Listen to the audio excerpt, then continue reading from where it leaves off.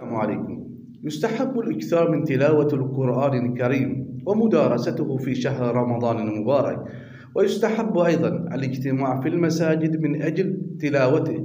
قال النبي صلى الله عليه وسلم ما اجتمع قوم في بيت من بيوت الله يتلون كتابه ويتدارسونه بينهم إلا نزلت عليهم السكينة وغشيتهم الرحمة وحفتهم الملائكة وذكرهم الله في من عنده. وقد ورد أن رسول الله صلى الله عليه وسلم كان يتدارس القرآن بين يدي جبريل ليلا ففي الليل تتجلى السكينة. والأنس ويصفى فكر المرء مما يعكره ويستحب أيضا أن يتطهر المسلم ويتوجه إلى القبلة حين تلاوة القرآن الكريم ويجوز أن يقرأه في أحواله جميعا أثناء قيامه وقعوده واضطجاعه وركوبه فهو من ذكر الله. وقد قال الله تعالى الذين يذكرون الله قياما وقعودا وعلى جنوبهم.